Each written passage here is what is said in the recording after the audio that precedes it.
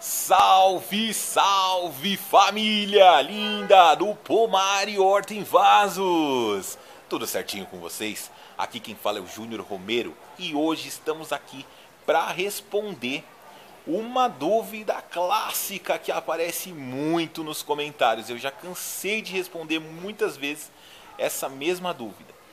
Júnior, o que, que eu faço com as minhas curcubitáceas? Elas só produzem flores machos, não tem polinização, eu não consigo frutas.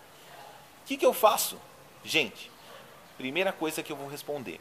O que são curcubitáceas? Curcubitáceas são é, plantas do estilo abobrinha, abóbora, pepino, melancia, melão.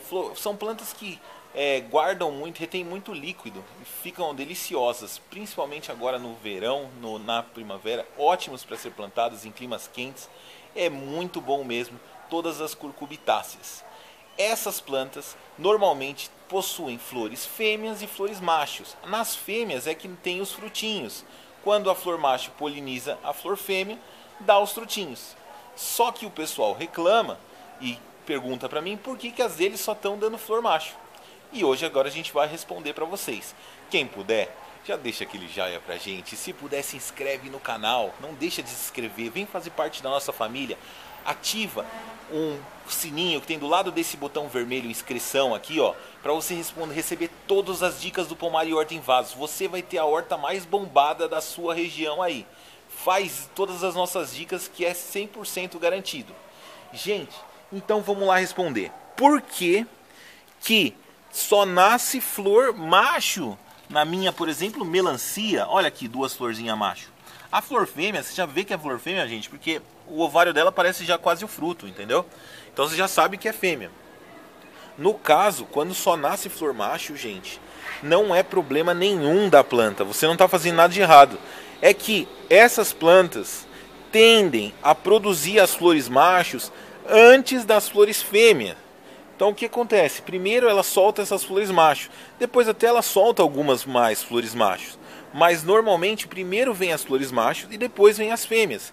Por isso que a dica do Pomariorta, dica do Júnior, é o que você vai fazer. Você planta duas, três, quatro, várias plantas da mesma, só que com intervalos de plantio. Então você planta, vai uma agora, uma daqui 15 dias, uma daqui um mês. O que, que vai acontecer, gente? Quando a primeira carga vai produzir flor macho, beleza, não vai produzir.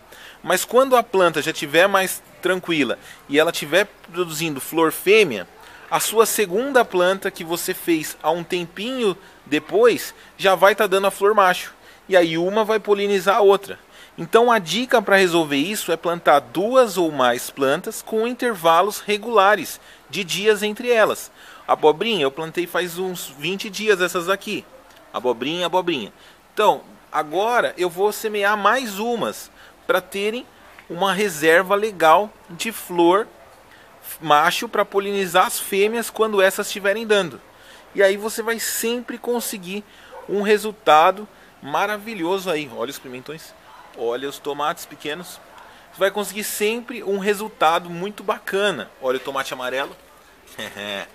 Por quê? Porque você vai ter o êxito, gente. Ó o morango. Ficar mostrando para vocês, né? Ó a penca de tomate.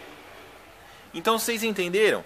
Sempre deem um espaço de tempo entre os plantios, tá? Então, se for essas culturas que eu falei para você, pepino, é, abobrinha, abóbora, sempre deixe uns 15, 30 dias para você ir plantando uma sementinha após a outra. E aí vai, vai casar certinho o tempo que uma planta está dando flor macho e a outra planta está dando flor fêmea. E aí você ter, vai ter o excelente resultado, tá bom? Quem gostou desse vídeo, deixa o like, sempre deixa o like. Faz o favor, deixa esse like, ajuda nós. Se inscreve no canal, compartilha o vídeo com seus amigos, é bastante coisa, mas dá uma força para nós. Um abraço forte a todos. Fiquem com Deus, sempre aqui respondendo as dúvidas de vocês. E até o próximo vídeo. Tchau, tchau!